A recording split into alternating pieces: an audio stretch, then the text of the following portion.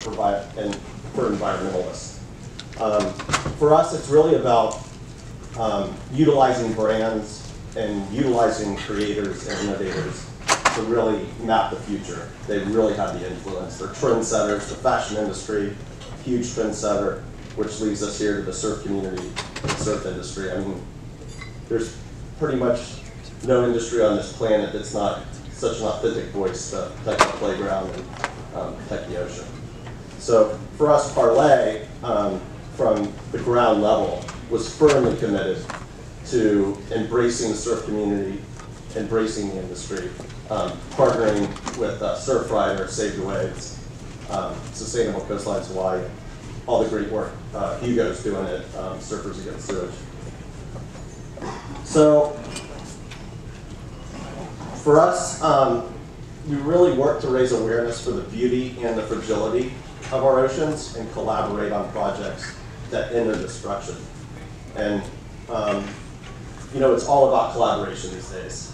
Like this problem is such a mess. Um, the old days of environmentalism, I mean, I'm come from the old days of Sea Shepherd. Met Paul Watson 16 years ago, ran around with him on a boat for, know, two or three years, chasing illegal um, whalers. And, and um, you know, activism's great, um, is great, but at the same time, um, we're in it way too deep. So we really need brands, we really need governments, we really need innovation, we really need designers.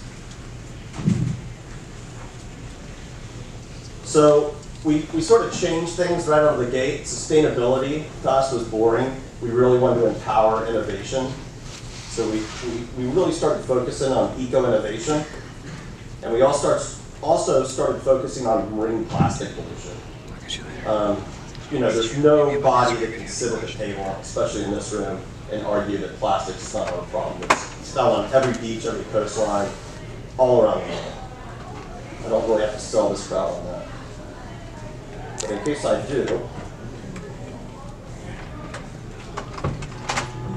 Do we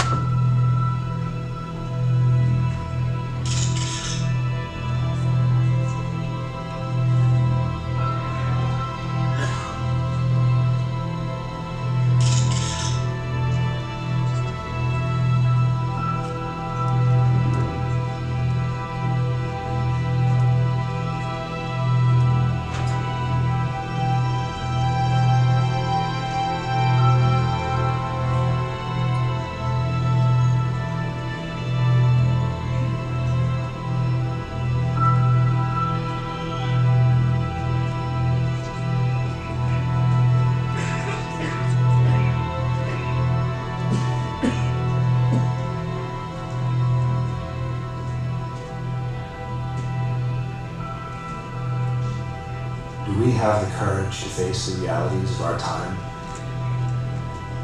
and allow ourselves to feel deeply enough that it transforms us and our future?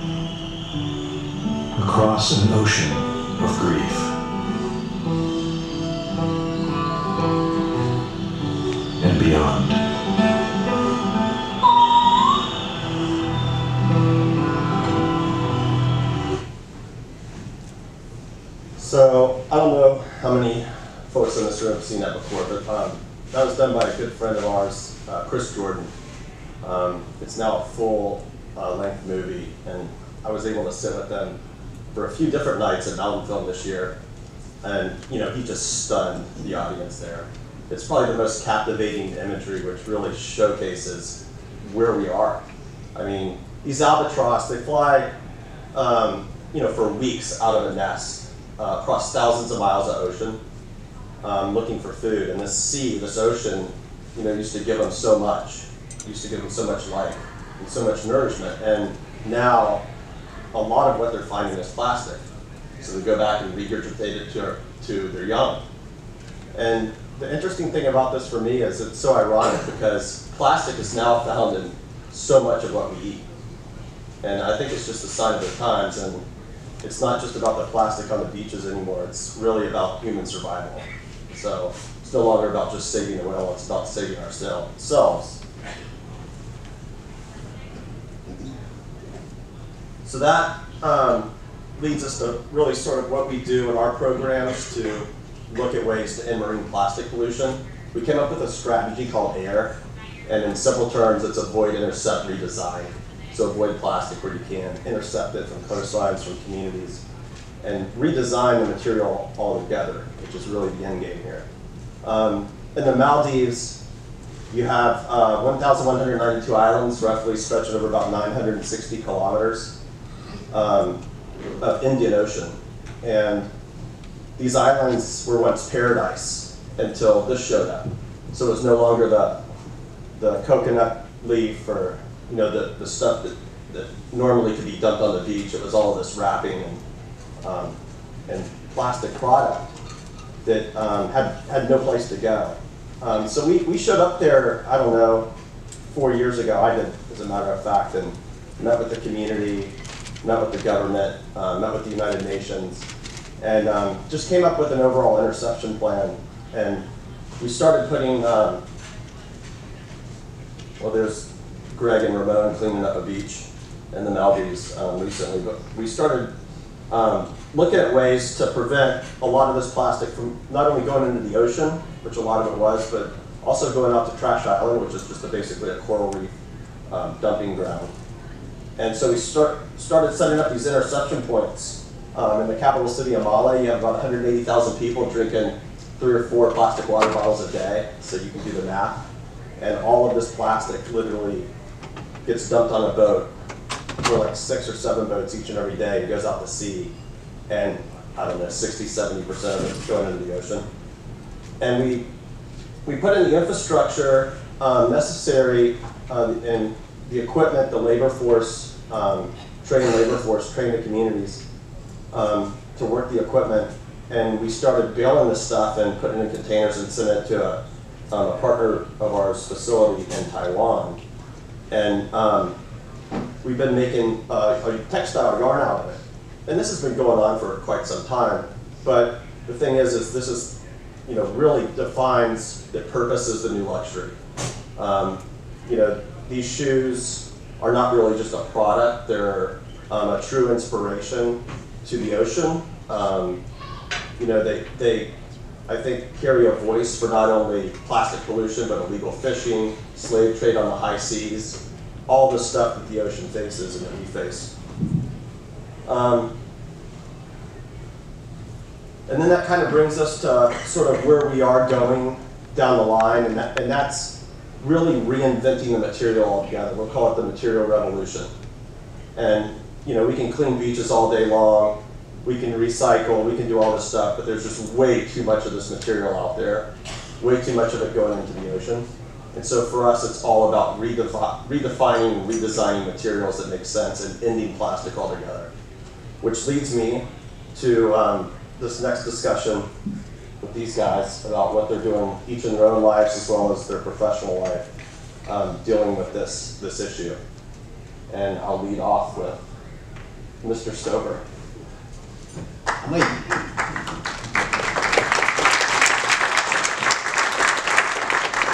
I had some slides, but uh, I think we're gonna keep it fireside. Um, and I think Guy left, but my slides were on Canva, so I was gonna ask him for the premium version because we have a speed bump because we're a small company and we're on the uh, free software. But uh, yeah, I just wanted to share a couple thoughts from our side. Um, you know, our stories. We were kind of grew up as surfers and around the water, and you know, I was in the car last night with Hank Gaskell driving up.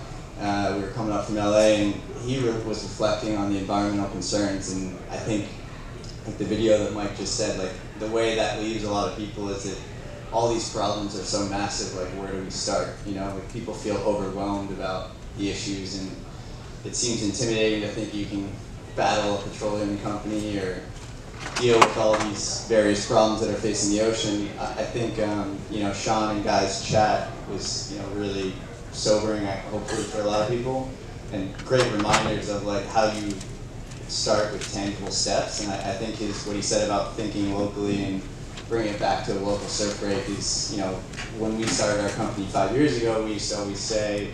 Uh, you know, act small and dream big. Like find a starting point and make a difference. And for us, uh, we were kind of just wanted to help out with the issue, and you know, we looked at plastic pollution as uh, you know a problem that was like discarded fishing nets. Uh, we were given an opportunity by the government of Chile uh, in 2013 to set up a recycling program to work with fishermen to incentivize them through a community-based model where we would collect their material, melt it down, and put it into products. Uh, and I can tell you that in the five years of doing that, being focused on one type of material in one region, the amount of complications and issues that come up from that, it's, it's challenging to get the material from the, the basically the waste supply chain into products. Um, and for us, you know, we're, we're definitely uh, focused on having our impact there, and we'll say that you know, getting to know the, the issue and, and looking back at the people making the material and where it's coming from. I mean, the most shocking thing is the volume. You know, you see these stats of how much plastic is out there, but until you actually start going to these ports and looking at how much is used on an annual basis just in one port, then you start to see, you know, how big of a problem this is globally. So in our first year, we collected about 10,000 kilograms in 2013. Uh, we're up to about 185,000 kilograms in year five, and we kind of have an internal goal to uh, to collect a million kilograms a year within the next five years. And kind of our business model has shifted. Um, our first product was a skateboard. A lot of people know us for that, but we've kind of, uh, you know, I think Hugo mentioned it this morning, the importance of going outside the surf industry. Um, you know, we found that by creating innovative, innovative products like, like Mike talked about, you kind of have a voice and give people a platform to really engage. And um, you know, so we're working on kind of large volume projects to move material now. And you know, I, I think the biggest lesson that we've probably learned in the last year or two is that um, you know this doesn't just have to be about doing something good for the environment. I, I think the big sell to the big companies you're talking to and, and the big projects going on is that people really care about this stuff. And you get a lot of consumers engaged that want to do something positive for the environment. And honestly like in the surf and the ski and the skate industry and all these industries you have a really engaged group of consumers that really are sitting there waiting to help and they, they're not always given opportunities. So giving them a platform to engage and do the right thing uh, is something that I think is really undervalued right now. I think companies really haven't um, figured out how much that can be worth, and we certainly think that, uh, that that's the future, and that it's it's on consumers and companies to to innovate better products, innovate better materials, but uh, innovate things that have solutions. And um, I, I think the last point uh, I'll say, and that's what we open it up, is uh, kind of looking at it. Uh, we definitely encourage people to focus on kind of the traceability and transparency, not only of uh, the things that you make as a company, but the products that you buy. And we're certainly our own worst critic now. And we, we um, you know, we recycle, we create energy. uh, use energy to do that, and we're looking at ways in our supply chain where how do we support renewable energy so that we don't have to support fossil fuels? How do we, um, you know, how do we look at supporting the communities that we work in? Just going back that extra layer, and you know, as a company, as a consumer, I think it's really important that we all take a step back and look at those products that we can, that we can make and the products that we buy, where it comes from, uh, how it affects those communities, and, and how that product uh, benefits uh, the people and places around it. So, I don't, the transition from there, I'll let, uh, maybe Chris take it at, at this. Yeah, so um, you guys are doing amazing work. I was really lucky to have a lunch with him and his partners early on, and they were, you know, the guys point super enthusiastic, like eight-year-olds in a candy store, and they were like, "We're gonna make skateboards out of fishing nets," and I was like, "Yeah," they they, they completely sold me, and it was, um, you know, a pretty big idea, and here they are, and they've been super successful. So good work, and um, keep that. and it's just a great story. I mean, taking real waste that's one of the worst, um, you know, worst offenders in the ocean, and turning it into consumer products that are, you know, fun, engaging, and it's been, I think, really powerful just to see and see consumers react to it, and. Um, yeah, it's a great example of changing of the tides and seeing, you know, a cause-based product, the skateboard made out of fishing nets, which, you know, worked pretty good. but uh, the first one wasn't, it wasn't necessarily uh, as performance-based as some of the competition. It was more expensive, but it did great because people reacted to it you know, the consumer reacted to it in a positive way. Um, I think we're all optimists, or we probably wouldn't be here. so another little just dose of optimism. Um, somehow lucky enough to work with the Tompkins Conservation Group in Chile and Argentina. I don't know how I got that gig, but um, always feel lucky to be there, kind of like today, um, with a bunch of good people in the room. But um, just in the last couple of weeks, they've dedicated over 10 million acres in um, Chile with the Chilean government to into national park. So talk about incredibly audacious and ambitious dreaming to um, cook up that idea about 20 years ago. Doug Tompkins and a very small group of people you know, had this insane idea to create this series of parks and began on that journey.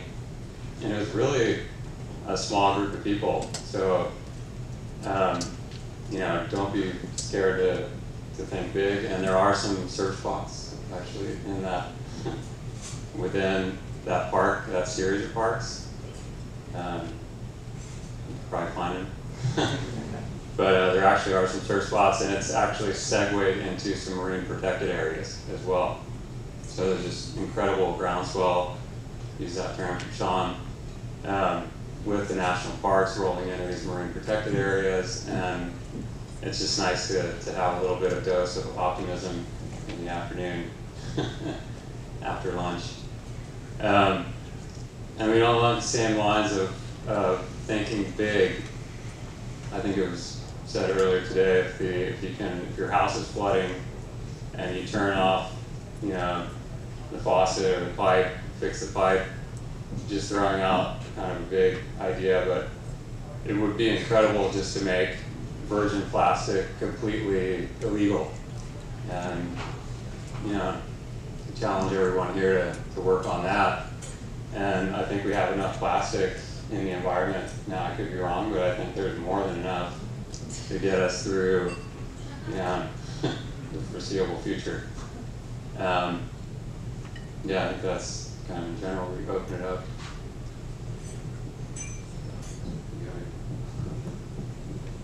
Yeah, good afternoon. Um, my name is Bryan Cole, and I, I work with also people and planet and community.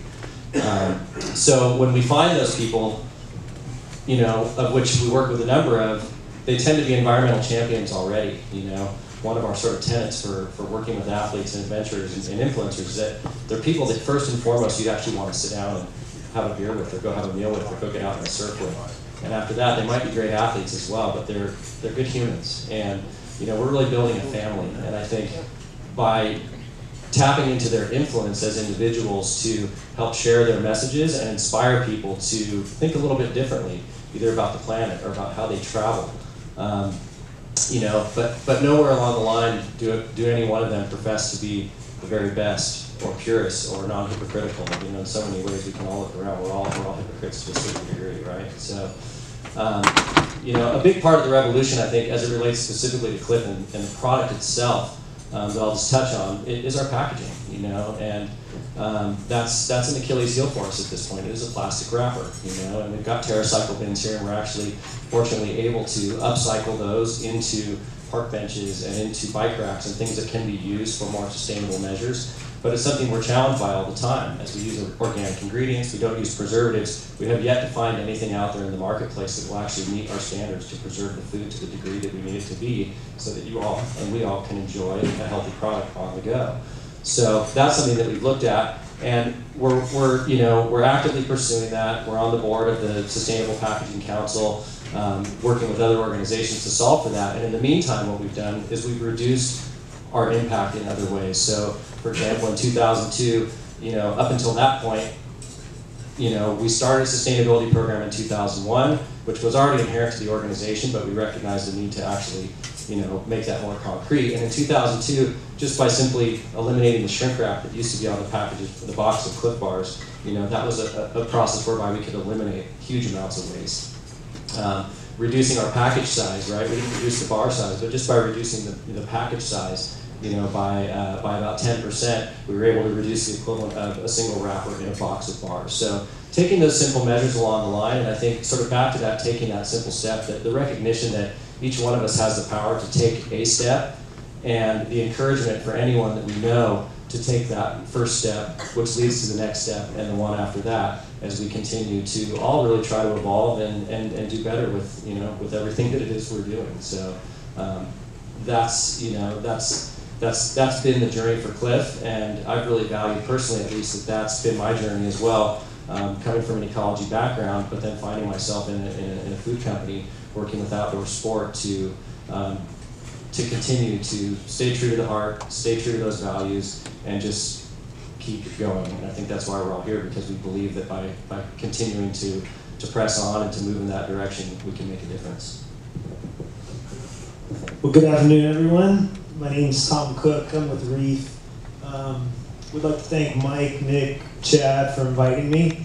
Um, I was kind of a last minute guy. Um, originally, our head of marketing was going to be here, but uh, I'm really, really honored and humbled to be a part of this group. Um, my own personal journey here is just from being a country kid from Virginia, grew up about an hour west of DC, and uh, you know, when you kind of grow up in that environment, you're already tuned to nature, you know, exploring the fields and the forests. And uh, I was like an ocean lover from a little grom. You know, the first time you put on the, the mask, you see that, that, that other universe down there, and you're pretty stoked on the ocean. I've always been an ocean lover. And then I grew up, kind of got into skateboarding, and skateboarding led me to surfing. And sur- surfing just changed my life. I also got into it kind of late. I didn't start surfing until seven years ago. I'm 45, so I kind of agree with Guy. It's like the later you start, the harder it is. But it was a radical life game changer for me. And uh, I always kind of wanted to do something creative with my life. You know, I'm kind of like weird right brain, left brain guy. Like studied engineering, minored in art. Had like my mom painted, and my grandma painted, and my aunts painted.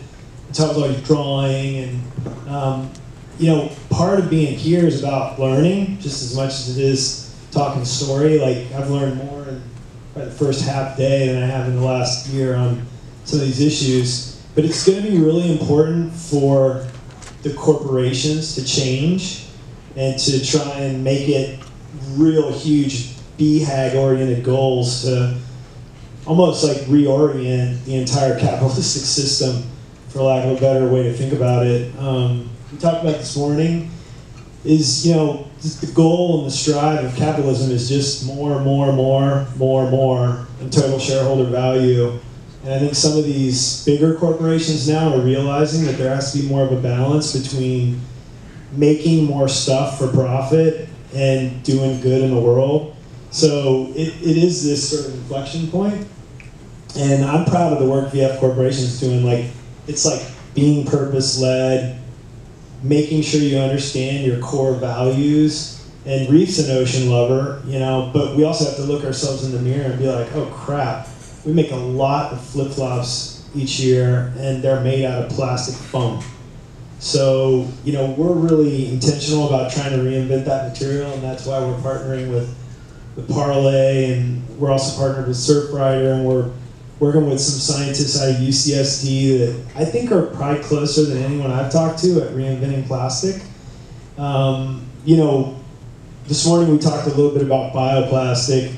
It might be really bad for packaging and single-use plastic and that kind of thing, but what we've learned through these UCSD people is that they're probably two or three years away from reinventing the type of foam that we could use in our flip flops. And it's not going to be perfect initially, but even if it's only half polyol oil, which um, just quickly, the petroleum we dig out of the ground is just ancient algae oil that's been stuck down there a long time, and the earth made it into this crude oil we dig up.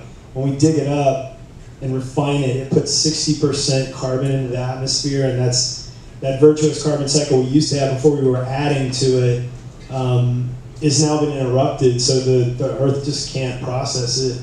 So we don't want to do that anymore. So you can take this algae oil and make all kinds of cool stuff from it. And it, but the science is just getting there, right, to a commercial grade um, material. But that, that's something that personally really inspires me is this idea of like reinventing the material because then at least we're we're starting to put less carbon out. We're, we're hopefully solving the ocean biodegradability problem. That's that's the other one that they're looking at. Because I'll tell you, we see those pictures from the Maldives. There's flip flops in those pictures, and it's super heartbreaking to me to just think about that and go, crap. You know, you could probably find a couple reef logos in there. Um, so that that's probably the BHAG we have is how do you reinvent the material and how do you partner with groups like Parley for the Oceans and Surfrider and these science-based groups that are hard, hard at work on cracking that code. Um, so anyway, just thank you guys for all being here and being as inspiring, including my fellow panelists.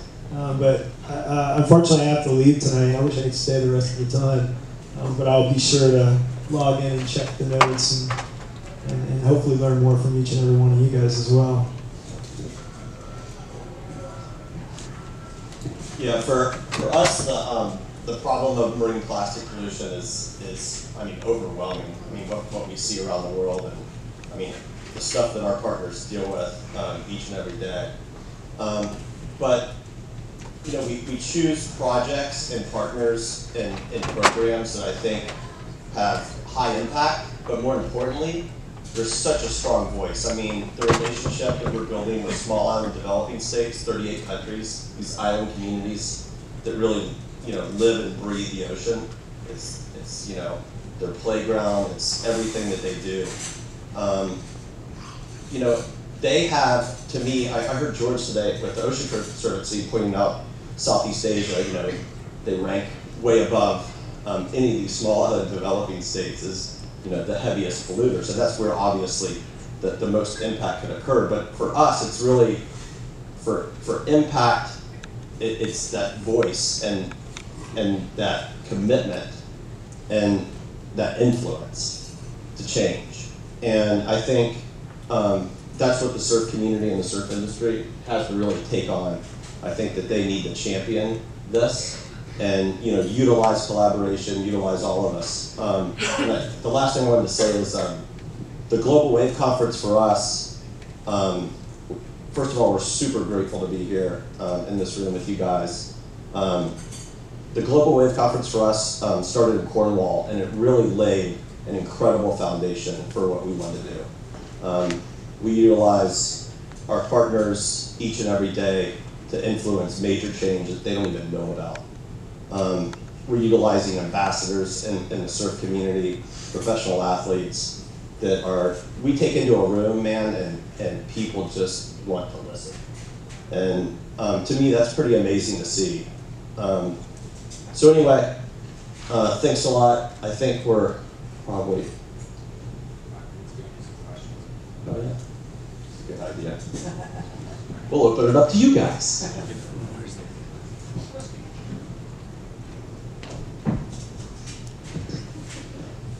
Guys, uh, Taylor Lane, industrial designer and creator of the cigarette surfboard. Um, first of all, thanks for showing up. Really awesome what all you guys are doing. So, kind of as a designer, you know, the ultimate problem here is consumption. Right? We're just consuming things at an unprecedented rate. Um, companies' job is to ultimately sell product so they can stay afloat.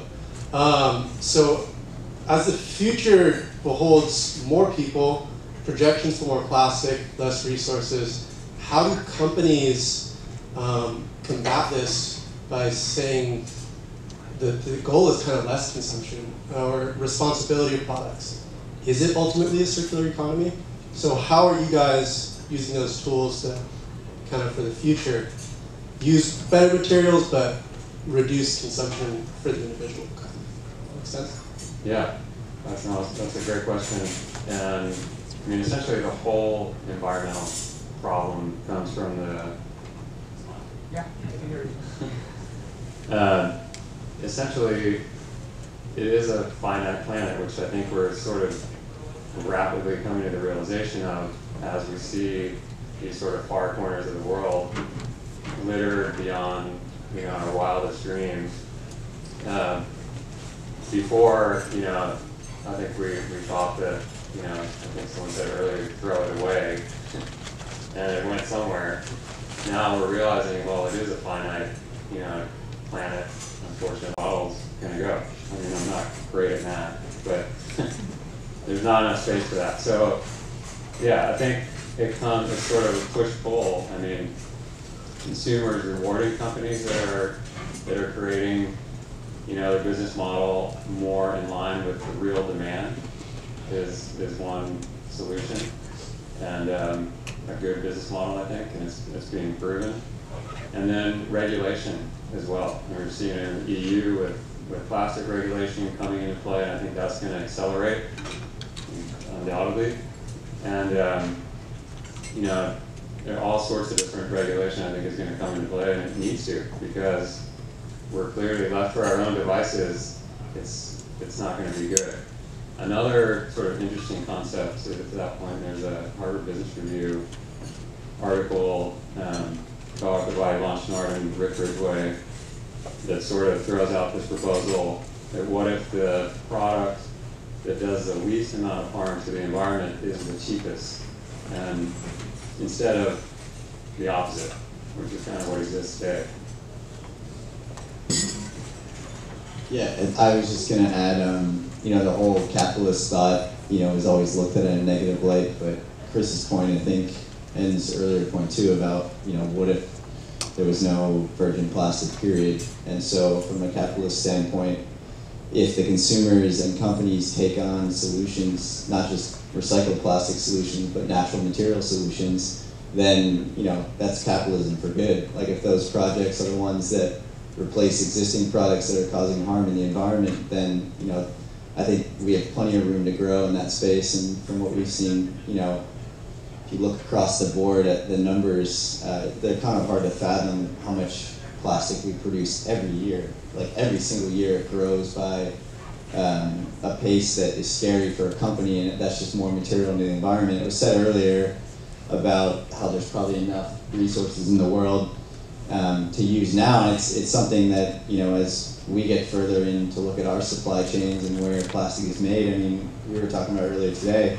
you know, even for companies to simply vocalize to their consumers and to people that work at those companies, hey, plastic's produced at a refinery. You know, as surfers and people that are in the environment, like, I mean, in California, like, I know for me, like, driving by, you know, the refinery in El Segundo and in Long Beach, like, those are eyesores for the coastline. And to think that you're buying a product, you're supporting those operations. Like to flip that on its head um, and say that you'd be able to support applications that um, have a regenerative effect on the planet. And um, I think Patagonia is a perfect example of that. And we're certainly fortunate enough to be partnered with them and be in Ventura and kind of have them to be a bit of a mentor and um, you know certainly a successful brand and one that's shown that you know consumers can make the right decisions. And I, I think Chris's point's a great one about um, you know as the technology and the materials are developed, you know the making the right decision doesn't always have to be at the cost of the consumer and um, you know growing those solutions and companies taking on uh, you know, whether it's an algae-based foam that's going to be used across the footwear. I mean, I think that's the type of capitalism that will change because companies can't change if it has to be at the cost of the bottom line. But if it's something that they're threatened by and, and they know that if they don't do it, they're going to miss a market opportunity, then that, I think that's when you really start to see, uh, see the impact.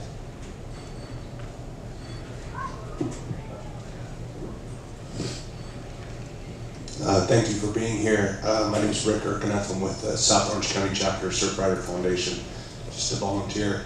Uh, realization that uh, you know consumption really is a problem. So it's great to hear there's some solutions. Um, just the other day, one of the uh, heroes of the San Clemente surf culture is on the world tour. Don't need to name names, but he um, turned in uh, 17 surfboards that he didn't even put wax on them. Um, so you talked a little bit about performance. Um, you know, there is such a high bar in the surf industry for product, um, whether it's a pair of shoes for skateboarders, whether it's a skateboard, whether it's a surfboard. So, you know, how do we grapple with that as a surf industry, as a culture that wants to preserve um, what we have left and wants to leave something for the next generation, but still not sacrifice performance, like you said, with your packaging labels and such. So I'll just throw it out there to you guys. Thanks. Yeah, it's a good question. We talk about it all the time. I think we're pretty confident that, again, like to quote Matt Damon in that Martian movie, we're gonna science the shit out of this. You know, we're gonna have to. But pretty confident that the innovators on this in the science and, and innovation community can crack the code. We're already looking at biofoams that are like 50% um, made from polyol that like for a flip flop, we think just our gut tells us they're going to meet the need. And then the other cool thing is like with our work with Parley, we still think that the actual raw material of, of petroleum-based plastic that's in the ecosystem is a massive problem. So that's where these guys really come into play with this. They're almost like a certification board for 100% ocean plastic recycle. So getting that stuff and getting it into product and getting it out of the ocean is kind of an important like step as well. So it, it's sort of making sure that both can happen. And these these products that are like either the recycled or upcycled, um, you know, PET based, they're really they're pretty solid. Like, there's nothing wrong with those guys. Are we getting the music, the Oscar music? And I think it's also just all of us um, having that expectation of commitment by, um, you know, our partners. For Parley, like Adidas, for example, um, they're getting rid of all um, virgin plastic in their supply chain in the next six years, I think, is what, what they committed to. So that's a huge step. In the first uh, six months of our partnership, they eliminated all um, plastic bags at point of sale as well. So, I, I mean, you know, it's it's these guys that are going to champion, you know, these other brands, and, and we're going to demand it. The consumer's going to demand it. So these guys don't have a choice. Um, and, you know, it's, it's really, again, though, up to us to start redefining the material altogether. Um, the, the, the con- I mean, yeah, you can reduce consumption, you can recycle all day long, but this material is having a devastating effect on us and, and, um, and the ocean. So, anyway, we good? Okay.